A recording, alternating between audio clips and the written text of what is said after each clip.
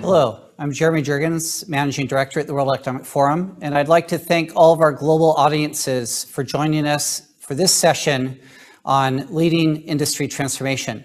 We've had a great uh, first day uh, of our inaugural Global Technology Governance Summit.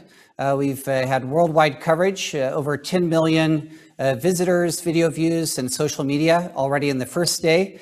And I expect the second day to be even stronger with the rich program that we have. Today's session is extremely important as we look at the role the industry has to play in helping both shape and advance uh, you know, the broader objectives of improving technology governance. And I'd like to just call out three specific areas where the forum's contributing to this domain. First is our industry programs. We have a rich set of industry programs covering 20 industries where we look at the most pressing issues within each industry, whether that's in energy, in health, in manufacturing, or finance. In each of these sectors, we actively work with industry leaders to understand the critical issues, as well as on what needs to be done to address them. The second core element of our program is actually around global innovators and what we call technology pioneers. These are the companies that actually show us what's possible in the domain of transformation, how companies can improve, and it gives us a kind of a pulse on what we can expect and what can emerge before it happens. And the third area I'd like to bring attention to is our network of fourth industrial revolution centers, which are around the world. In today's session, we're co-hosting with our center uh, in Japan and our partner, the Asia Pacific Initiative. And these centers are important in actually prototyping and exploring what rolling out new technologies looks like on the ground in countries and cities around the world. So with that, I'm looking forward to an extremely engaging session and uh, welcome our contributors. And I'll hand over now to Dr. Funabashi. Jeremy, thank you. Thank you very much. Uh, before getting on to business, I'd like to express my deepest gratitude uh, to both uh, Professor Klaus Schwab and Jeremy Jurgens for launching uh, this extremely uh, visionary and imaginative platform of meeting the finest minds from all over the world to explore how we should harness that fruits of the technologies while managing the risks. So uh, once again, I'm a great, uh, I'm very much uh, delighted to be, to be a part of this exercise. Thank you. Uh, uh, Professor Schwab told us that when he uh, wrote a book about the fourth industrial revolution several years ago, uh, he thought that uh, 23 technologies were the key. So he identified 23 technologies as the pillars of the fourth industrial revolution. And that he thought at that time that it was they were a science fiction at best. But it have become to be a reality. So in a way, we actually have been very much adept at harnessing and developing that technologies. But at the same time, we are not so sure to what extent we can manage to control the technology. For instance, a synthetic biology is one of those technologies. Uh, we now realize that that uh, messenger RNA is really the key to fight against that COVID-19. At the same time, we are not so sure that vaccination could actually really will be that the golden key to fight against that coronavirus. So we have a lot of questions uh, to be answered.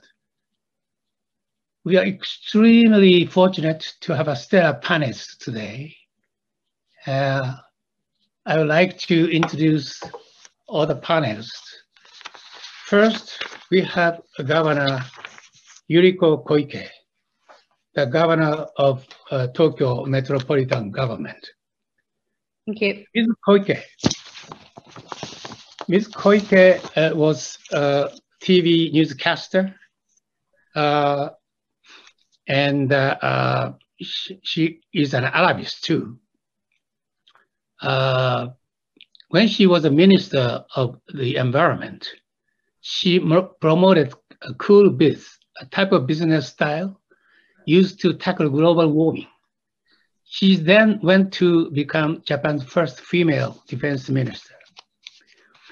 Next is Jim Hagemann Snabe, chairman of Siemens, as well as a member of the board of trustees at the World Economic Forum.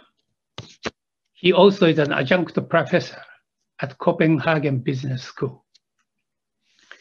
Prime Minister Brnabić, uh, is the Prime Minister of Serbia and in that role has focused on digitization, education, public service, and economic reforms.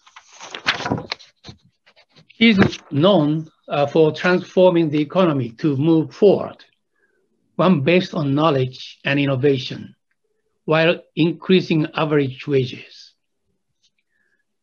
Hanzade Doğan is chairwoman of uh, Hepsiburada and is a leading figure in Turkey's online and digital world, as well as philanthropist.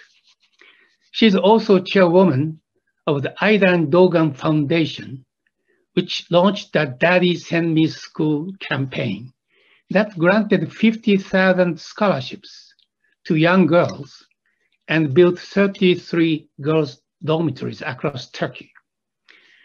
I would like to uh, each panelist to make some brief opening remarks. First, let me turn to Governor Koike for her opening remarks. Thank you very much, Dr. Funabashi. Thank you for your kind introduction. And I'm very thankful for this opportunity to participate in the Global Technology Governance Summit with such honorable um, uh, participants of the world. It is a great pleasure and honor to participate in this meeting under the leadership of uh, current uh, president of World uh, Economic Forum, Mr. Brende, who was my trustworthy counterpart when he served as a Norway's Minister of the Environment, and I was Japan's Environment Minister. Now, this meeting, which connects speakers online from around the world, exemplifies the changes that have occurred in the world over this uh, past year.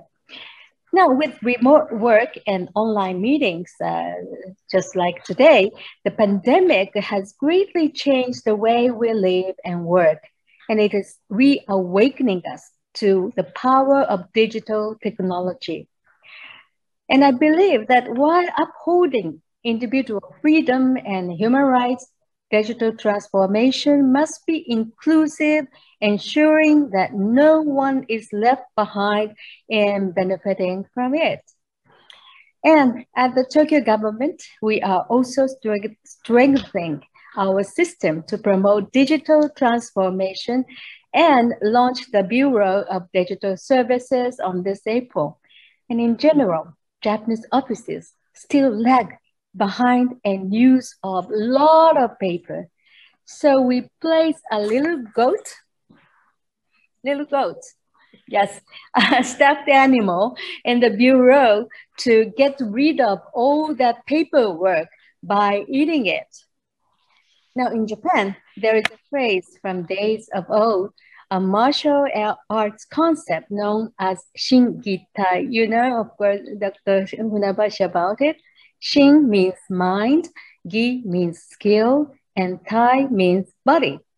Only by integrating these three elements can one can can one achieve their best performance.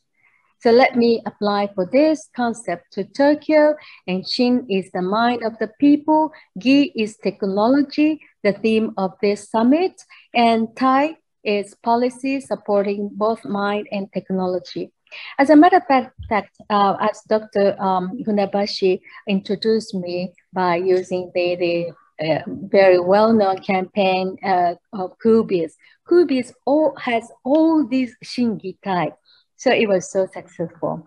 Now, from this Shingitai perspective, I'm now advancing measures for economic recovery from the coronavirus pandemic while also responding climate change and other challenges in order to ensure sustainable recovery, Tokyo's action for green recovery.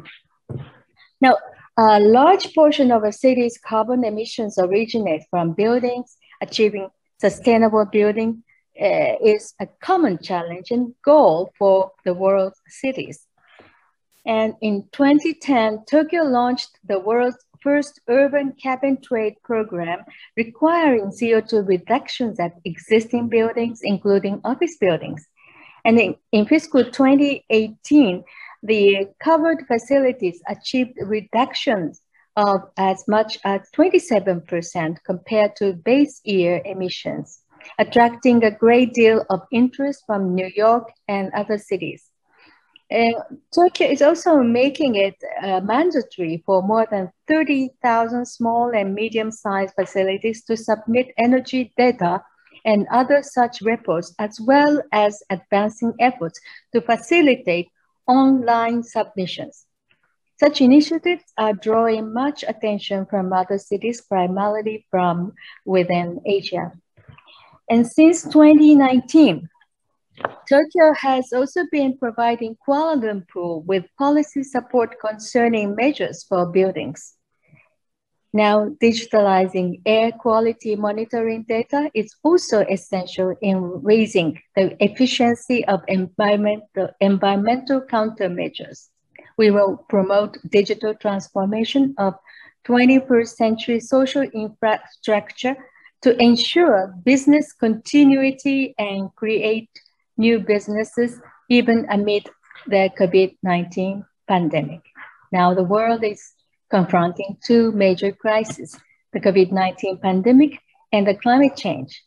In order to overcome these crises, two crises, under the rallying uh, cry of time to act, Tokyo is rolling out a um, movement to accelerate climate action for the future. And Tokyo will surge forward with digital transformation in order to create new value innovations for a sustainable recovery. Thank you very much. Thank you very much, Governor Koike. Uh, our next speaker is uh, uh, Jim Snabe. Uh, Jim, the floor is yours. Well, thank you very much, and uh, you know, honored to be on this panel and participating in this important uh, conversation. I have to admit that I would have loved uh, to be in, in, in Tokyo today. it's been a while since I went on a long trip. Um, it's not that I, you know, necessarily promote out of travel, but I think it's time uh, we get together as human beings again in the same room and discuss. We will make it, you know, digitally as well. Um, and let me say that I, um, I'm extremely thrilled about this discussion around industrial uh, transformation. In my opinion, we've seen the first wave of uh, which was really around consumer apps, it was around social media and entertainment. And while that was an important, uh, let's say, new set of tools, um, I think this next wave, which I call the industrial digitization, is uh, dramatically more valuable and therefore one that we should pay even more attention to. Um, it's the kind of transformation where we can solve the fundamental challenges that the world still has around uh, creating sustainable energy systems, uh, sustainable transform, uh, transportation systems.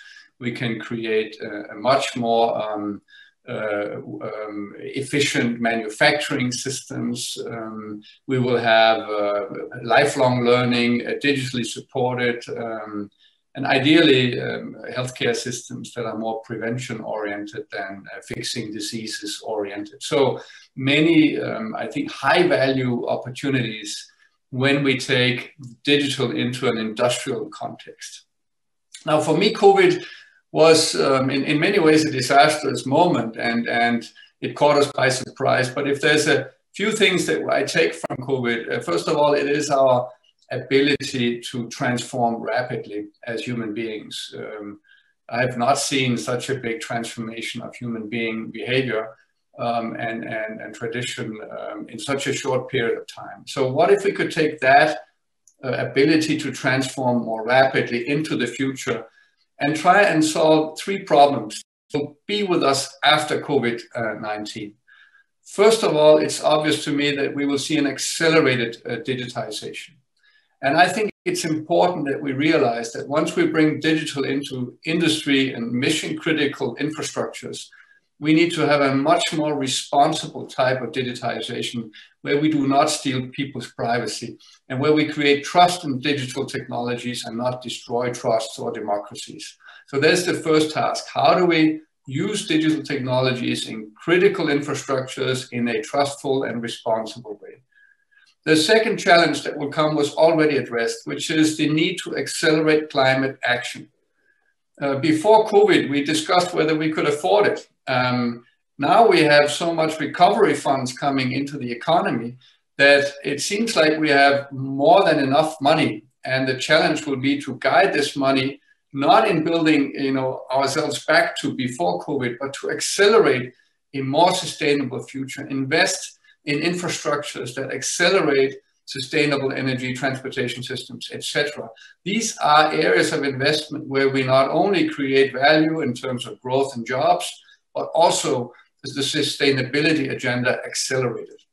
And my last challenge, and, and therefore I love also to see the politicians coming into this play, is my concern around globalization.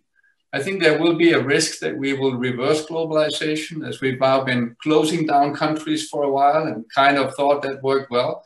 Well, I can assure you as chairman of AP Møller Maersk, the largest shipping company in the world, that the shops were still open. Um, and that was because global uh, value chains still worked. And we need to ensure that we don't try and nationalize or close down countries after COVID-19, but in fact create more resilient uh, supply chains where we have not one source for our material, but multiple sources. This requires more complex value chains and hence a much more a collaborative uh, global trade. And so my hope is that we will see this opportunity as an opportunity to accelerate a responsible digital agenda climate action so that we get the future infrastructures up to play right now. And of course, collaboration around global uh, uh, trade so that we create opportunities for everyone in a, a better future. Those are my hopes, um, and I'll leave the floor to um, the next speaker. Thank you. Thank you, Jim. Thank you for sharing your insights with us. Um, uh, Prime Minister Brnabić, uh, we now invite you to make initial remarks. Thank you very much, Dr. Uh, Funabashi. Uh, all the other panelists, it's a, it's a great pleasure and a great privilege to, to be with you today. And I would also uh, echo what my predecessor has said. I'm hoping that soon enough we'll be able to uh, actually meet again um, uh, in conferences. I think, you know, before COVID, there were perhaps too, too, too many conferences. Right now, I, I miss traveling and I miss uh, really uh, talking to people um, live and face to face. But in any event, uh, I, I, really thank you for uh, initiating this uh, important subject. I think the subject is is uh, going to be of increasing importance as the world tries to overcome the effects of uh, COVID-19 uh, pandemic. Um, Serbia has placed digitization and innovation as um, a number one priority in our future development and everything else that we do as, as the government in uh, Serbia. So five years ago, we have uh, decided to almost completely shift uh, um, our reform uh, priorities and the, the way we, we do things in Serbia. And there were three key areas uh, on which we focused specifically. One, obviously, was the economy. And our goal was to go uh, from uh, investment-driven economy and mainly investment-driven economy, mainly based on labor-intensive uh, investments, where we needed to be because back in 20, 2012, uh, so about about nine years ago, ten years ago, uh, our our unemployment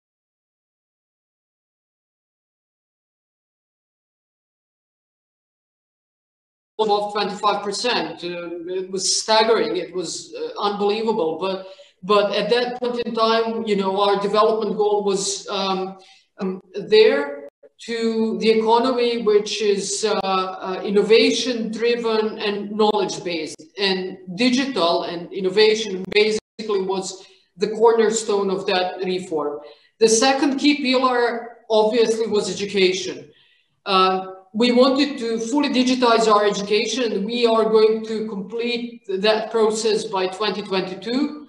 So introducing uh, digital textbooks, um, uh, high-speed internet access in all the classrooms. Uh, um, in 2017, we made coding and programming a mandatory subject in our elementary school. And uh, this year, we are going to have the first generation of uh, school children leaving elementary school with uh, the knowledge of uh, uh, key program languages, Scratch, Python, Pygame, and, and Jupyter. Um, we wanted to focus on education in order to enable our youth to, to, to be prepared uh, for, the, for the jobs of the 21st century. But that really meant to teach them uh, how to think and not what to think. Uh, and the third key area really was government. So uh, introducing e-government, making all of the services that government provides to its citizens and to its businesses, all of it, make it electronic. Uh, that would cut, cut time, increase the efficiency of the government, increase transparency, transparency of the government. It would mean fighting corruption it would mean making the government fully citizen-centric. And then also, what is extremely important to me, it would also, di digitizing the government means that you make government available to its citizens and all of the businesses 24 uh, 7 365 days a week the government is basically available to, to its citizens um, so those were our three key pillars, and we have done a lot. And um, I think thinking about these things from the point of view of COVID-19 pandemic, I think that everything we have done in digitization, uh, and especially in these three key pillars, paid off during the pandemic. Uh, and I will tell you uh, just a few examples. Economically, it made us uh, more stable and more resilient. Uh, we have focused on the services sector, ICT sector, startups, research and development, high tech. And actually, um, our ICT sector and services sector overall, but ICT sector in particular, as of 2017, started growing at uh, a rate of 25% and above year on year. So uh, when the pandemic uh, hit, we were more resilient. Our GDP decline in 2020 was only uh, 1%, and our GDP growth in 2019 was 4.2%. Uh, so uh, from quite a dynamic growth, the decline in 2020 wasn't wasn't that that uh, large, and in that respect, Serbia is going to be probably. We're waiting for the statistics from uh, from all European nations, but probably uh, we're going to be between uh, first and the second place in, in Europe. Um, in terms of education, because we were preparing to go digital and then, and then a lot of our textbooks were already digital, uh, we've trained uh, most of our teachers to go digital. When the pandemic struck, I think we were the only country in Europe that did not lose uh, even a single day uh, of schooling. So when we needed to go online, we finalized with kind of physical, physically going to school on, on Friday afternoon. Monday morning, everyone was already online.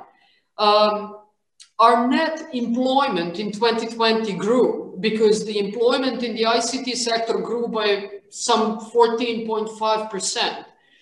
I mean, it's not all about digital. Obviously, we have provided a very strong support, fiscal support to, to our economy during the pandemic, but going digital really helped us. So we overall, the net employment, even uh, faced with the pandemic, grew.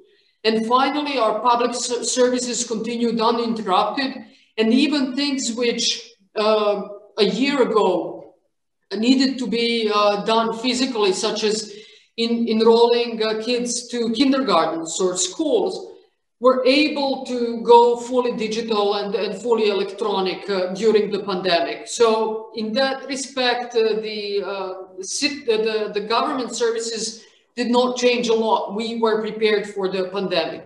So overall, digitization pays off, and especially when faced uh, in, with crises such as such as this one. Um, it also helped us um, um, in a successful mass immunization campaign, but I can tell you a little bit more about it in the in the uh, in the future or when we talk about about these things in the follow-up questions. And finally,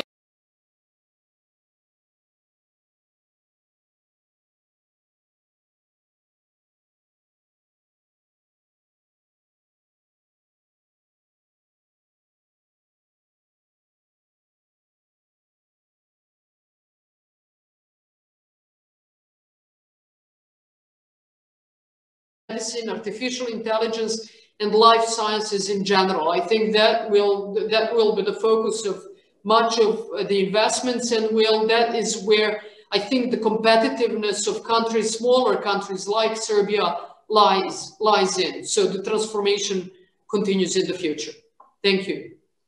Thank you very much. Thank you. Uh, next speaker, uh, Hanzade, uh, it's your turn uh, to make your initial remarks. Thank you, Dr. Funabashi. Uh, I'm very happy to be here today, especially together with inspiring uh, women leaders like Prime Minister Brnabić and Governor Yuriko, as well as our other panelists. Um, there is no doubt that the pandemic accelerated the adoption of technology in many ways, from increase in e-commerce penetration to the usage of video conferences.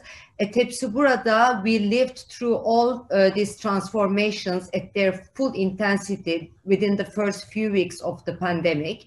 For those of you who might not know, Hepsiburada, which means everything is here, is the leading e-commerce platform in Turkey. Our vision is to lead digitalization of commerce. We manage a large ecosystem with uh, more than 50,000 merchants, 30 million users, almost half of the adult population in our country.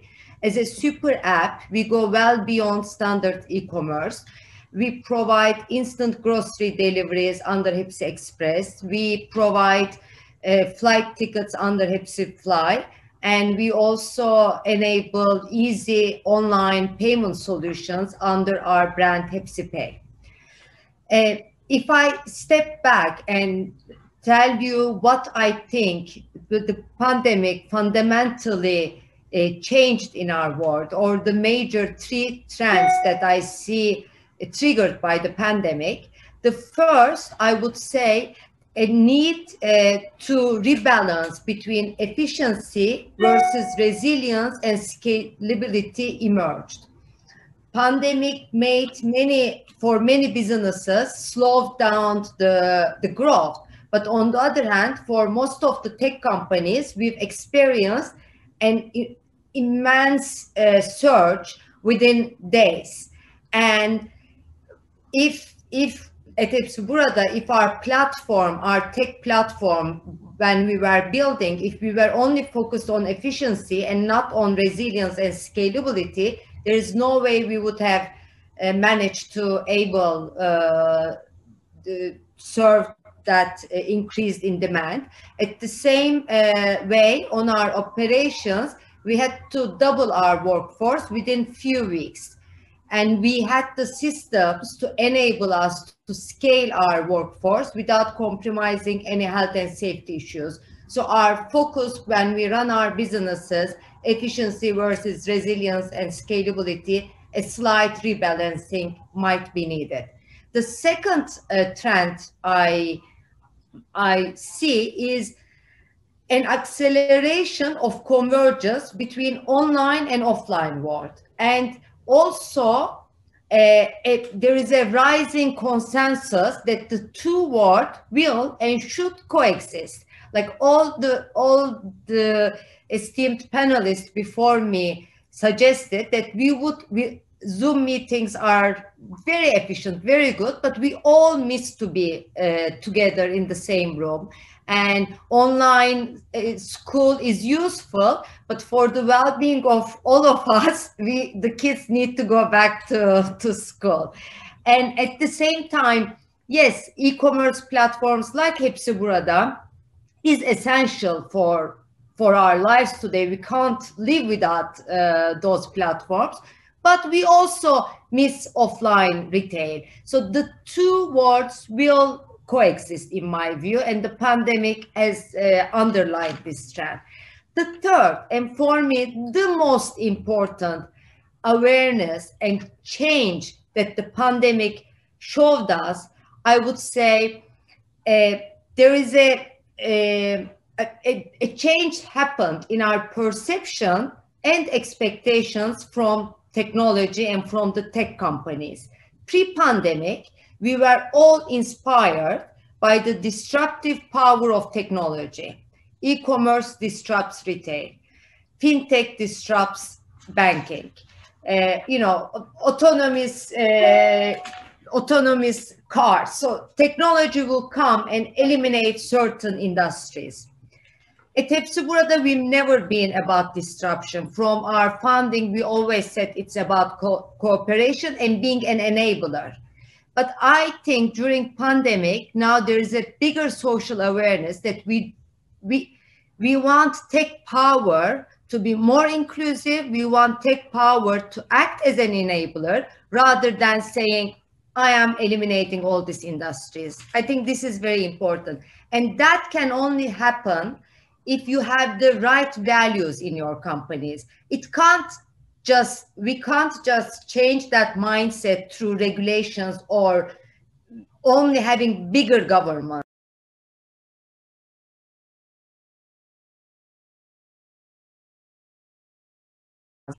Corporations have those values in themselves.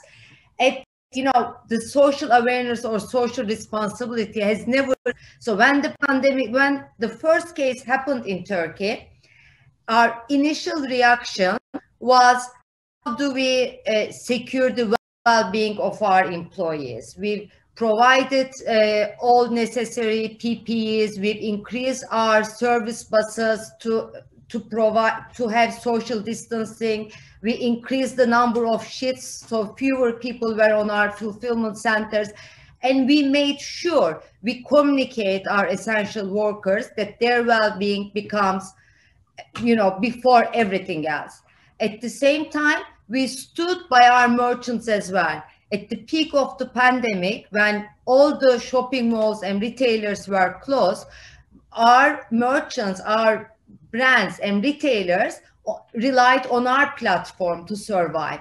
And we lowered our commissions to one third of what we would usually charge to support them.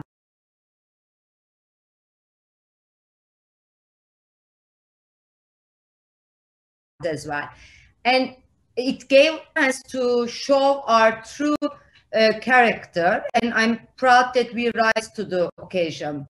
And I believe this new, the need of new uh, social contract in a way between corporations and society is an area we will need to give more uh, attention and discuss uh, further post-pandemic.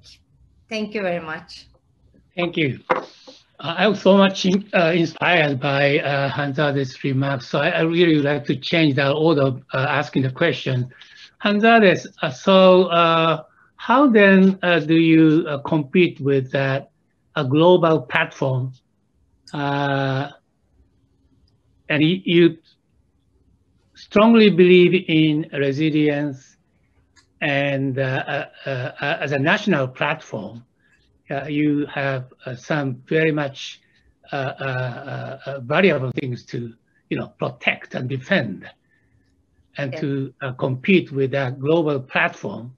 But how, how do you do that? Yes, sure. That that does that uh, still uh, the national platform as such still exist can exist in face of the presence of the global platform. Sure. I mean, Hepsiburada is a rare example of a national champion. I mean, you have Rakuten in Japan, but it, Turkey is a very competitive market. Amazon and Alibaba, they're active here. So how do we compete with these two global giants? of things. I mean, first, um, our we are a household name. Our brand is associated with trust. So it's not all about uh, only about selection and competitive prices, but our quality of service is unmatched in the market. We we do frictionless return, which you know doesn't even happen in many of the Western countries. Our customers can just click and we take care of the return because for us, I always tell my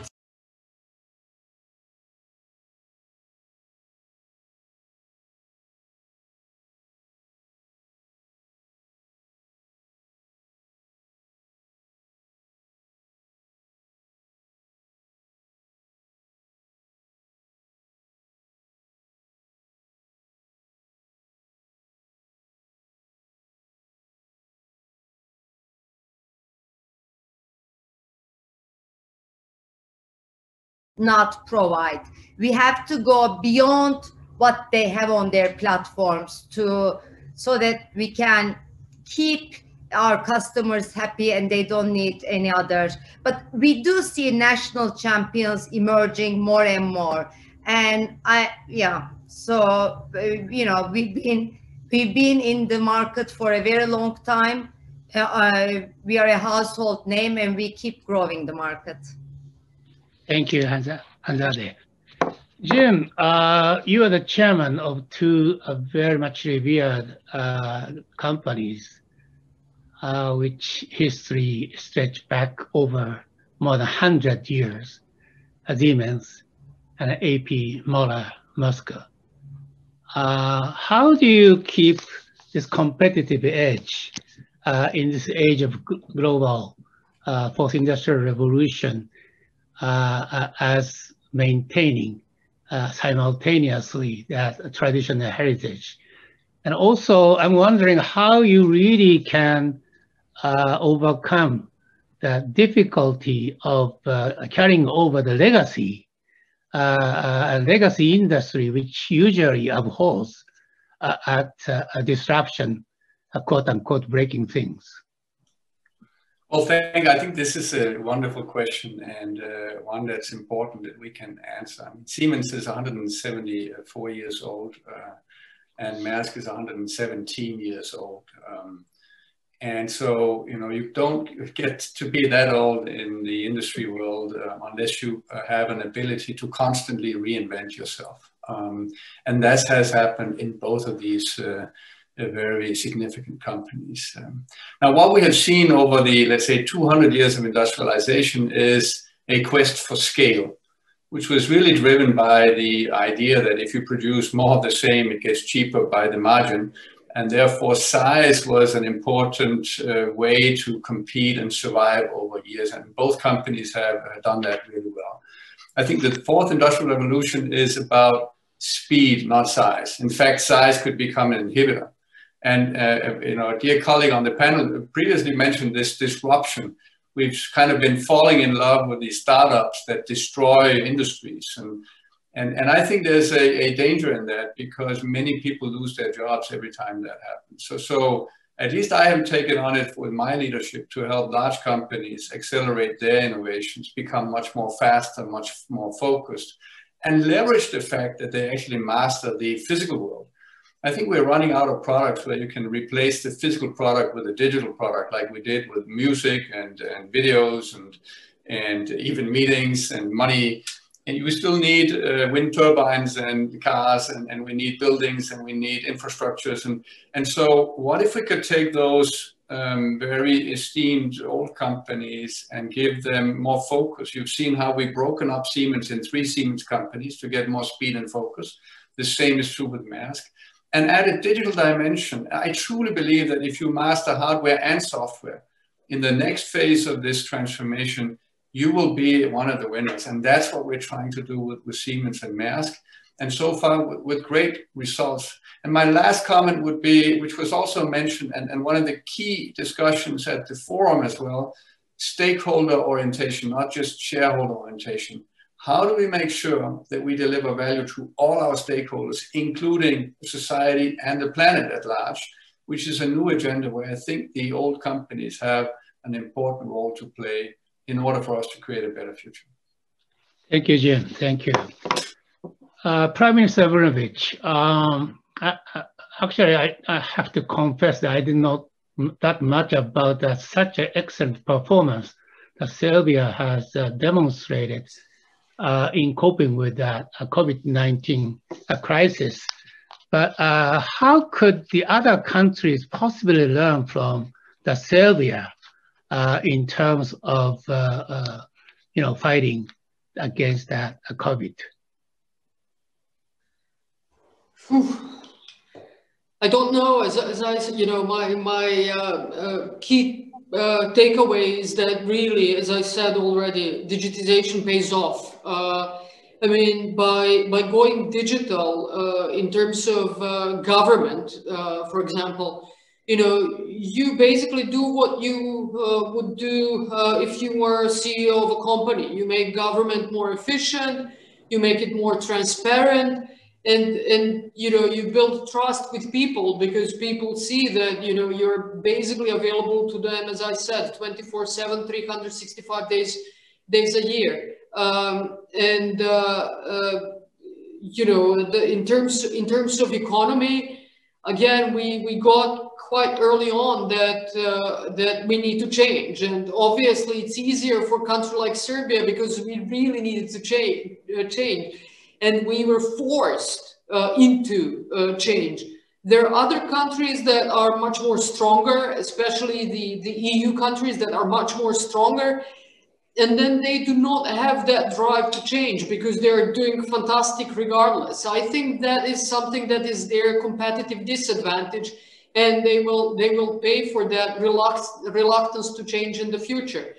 In Serbia, we have started, you know, quite quite a, a uh, big reforms. I think those are those, those were very systematic, very structural reforms in terms of how, how do we see our economy? Where do we see our competitive advantage? How do we empower our people? What kind of government we want to, to have? And I think people just need to to, to, to think pragmatically and see how the world changes and, and try to, to, to change with it or become the leaders of that change. And finally, you know, I, I'm always in terms of e-government and we talk about, when we talk about climate change, uh, we, a lot of countries uh, think about climate change and how we, what we can do in terms of environmental protection, but they never start from the government uh, with simple things. And I've counted, for example, when we started introducing e-government, that that was precisely on 1st of June 2017.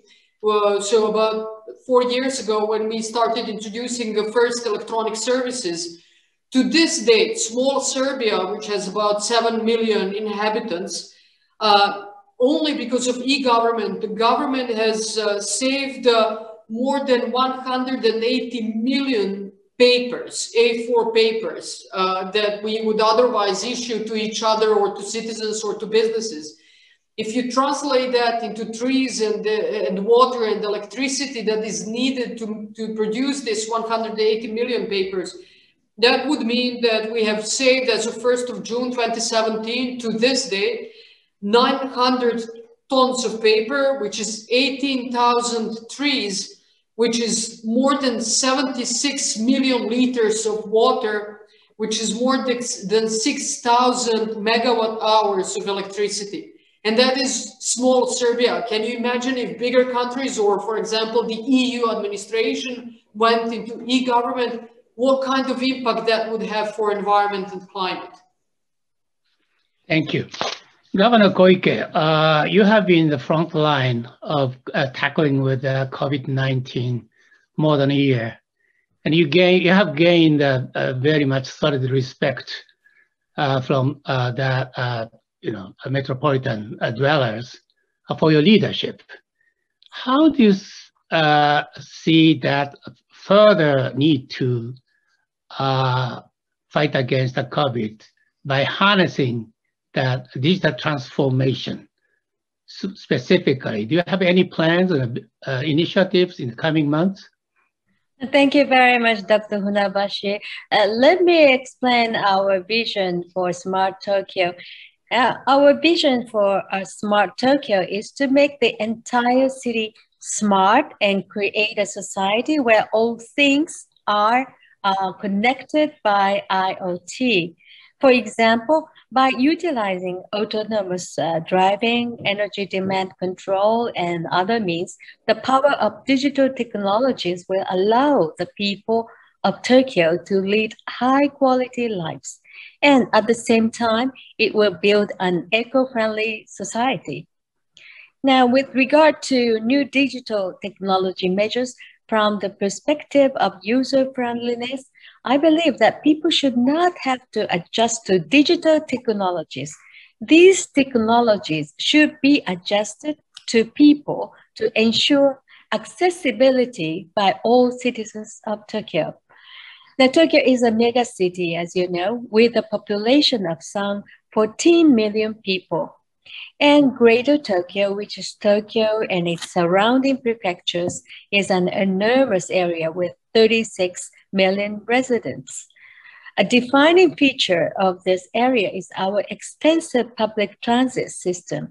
And I'm sure you've heard of the clockwork precision of our intricate network of rail, railway, uh, uh, railway lines and subways were quick to digitalize operations.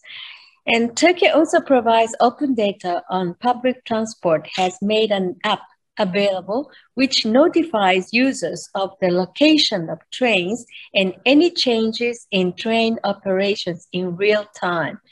This power of digital technology is also being applied in the new normal created by the pandemic.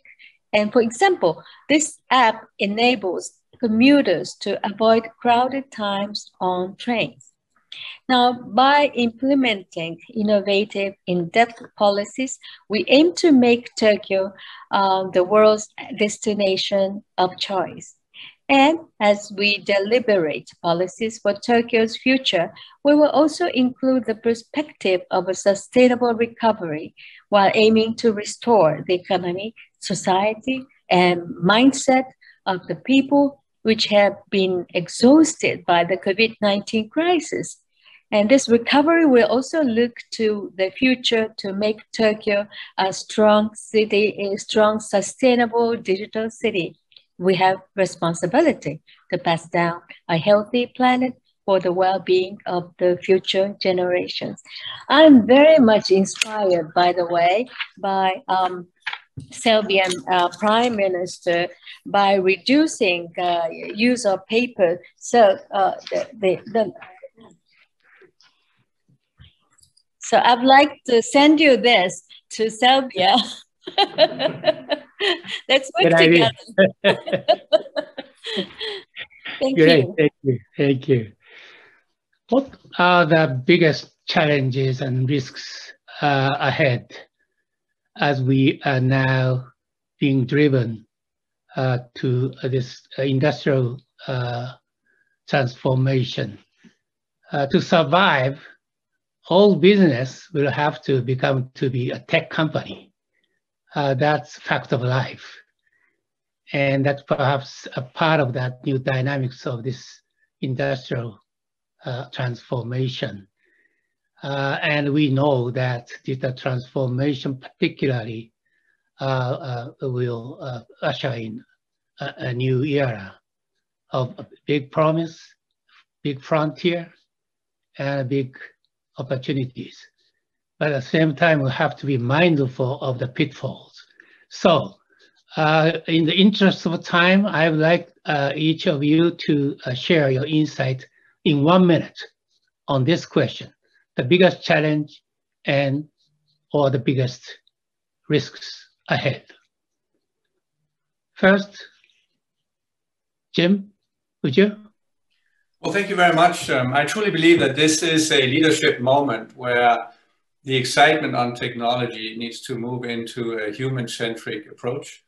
Um, I think we've had 200 years of trying to make uh, people work like machines. Now we can do the machines uh, uh, do that.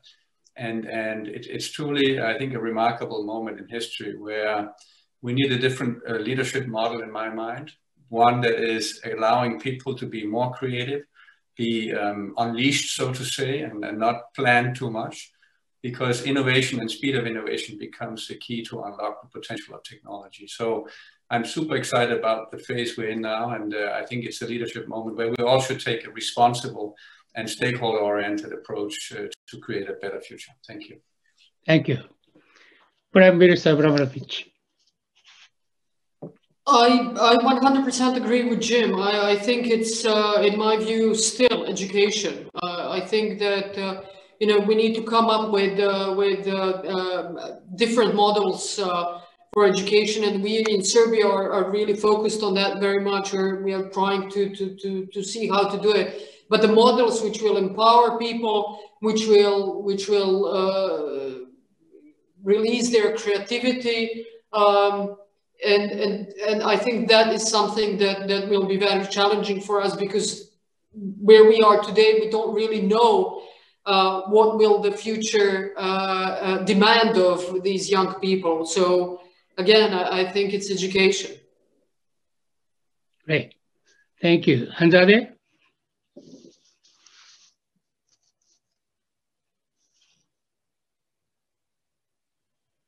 Uh, please unmute, please.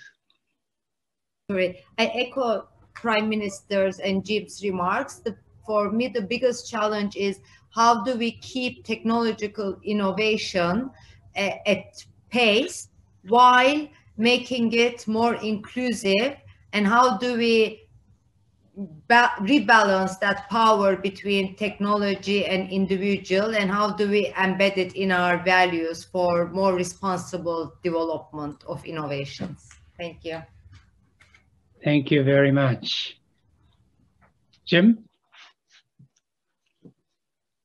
Yeah, yeah, you, you already answered. Thank you very much. Governor Koike. Yes. Uh, well, we are now at unprecedented and historic turning point as we confront challenges including the economy, climate change, the demographic shift, and the COVID-19 crisis. And let us harness the power of digital technology for innovation and value value creation, and overcome the present crisis to achieve a sustainable recovery. There is no time to lose. We must accelerate our actions, and it is now the time to act. And this um, this panel gave me a, a very good inspiration in order to challenge against the COVID-19 and, and create a new society in Tokyo utilizing um, digital, digital uh, power of digitalization and so forth. Thank you very much, uh, all of you. Thank you. Thank you, Governor Koike. Uh, we have uh, uh, uh, several questions from the audience. Let me introduce uh, in the interest of time, just two of them. First, this is a question from uh, Mohammed Hamza, uh, a Pakistani uh, politician. How do we make sure that standards drive interoperability and responsive use of tech in a highly divided West and East? Uh, in other words, that the confrontation and competition between the United States and China uh, primarily. Uh, this is a question to Jim. Well, thank you. I think it's a very important question, and I do see a risk, like also um, uh, Mohammed is, is uh, suggesting here, that we'll have a divided digital uh, future, which is not good for the uh, uh, prosperous and opportunities that we have. Um, I would just remind us that we've tried to solve such problems before. I mean, we have global aviation happening where we can fly to anywhere in the world, at least after COVID someday, where we have agreed on some international regulations on how to do that. I, you know, I'm chairman of the largest shipping company in the world. We move a million containers from every country in the world to every country in the world. And also there we have international regulations and standards on how to do that. And, and, and it is obvious that the next big infrastructure is the digital infrastructure. It started as a global infrastructure called the internet. We put a protocol on top of it for the World Wide Web, and it has gone way beyond what we had imagined. Now we begin to use that technology for mission critical infrastructures, everything from energy to healthcare.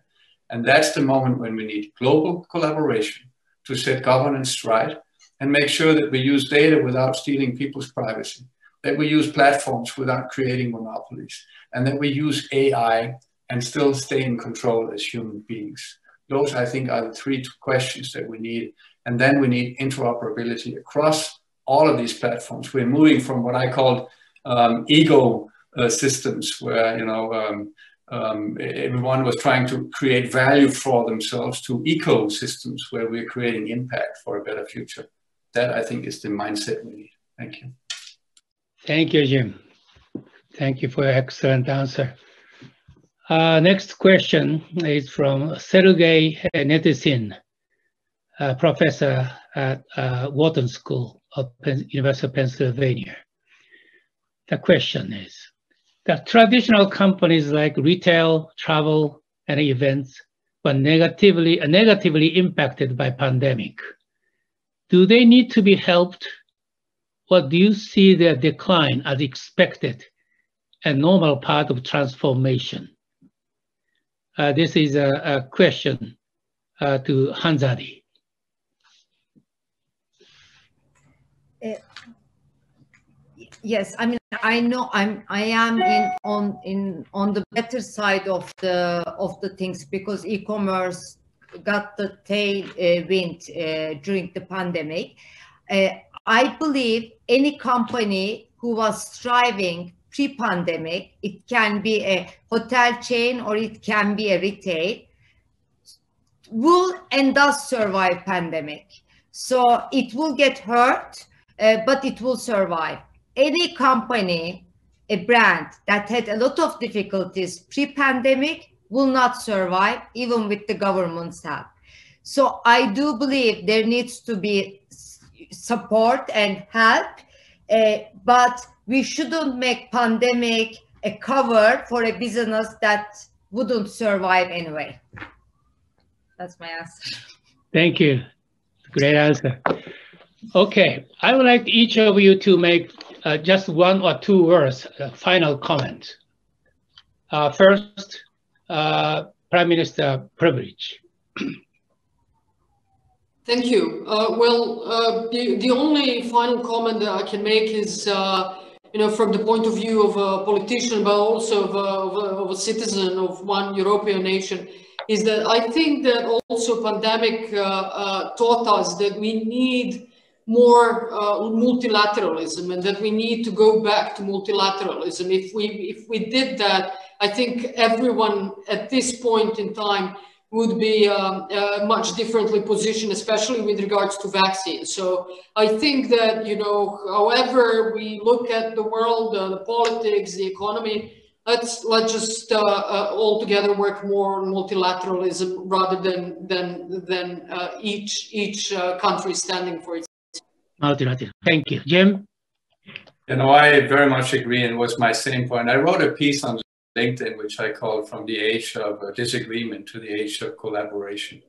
I, for me, it's like we have this unbelievable opportunity. The technology is there to solve the biggest problems that humanity ever had. And we might be wasting it in our attempt to be disagreeing. And so it's time to come together to focus on the right problems. We know the problems, there are 17 of them uh, defined by the United Nations, and we have the technologies to solve them. So let's, let's collaborate to do that. Thank collaborate. Thank you. Hanzade, just one word. Yes, more cooperation, less disruption. More cooperation. Thank you. Finally, Governor Koike. Yes, as I mentioned, uh, let us harness the power of digital technology for innovation and value creation and overcome the press, uh, present crisis, two crises, pandemic and uh, cli uh, climate uh, crisis uh, to achieve a sustainable recovery. And no time to lose. So let's work together. Time to act. Thank you. Time to act. Thank you very much. Once again, I really appreciate your sharing your precious time and thought and insight with us. Thank you very much. And then thank you very much for all that uh, the uh, audience uh, to join this session.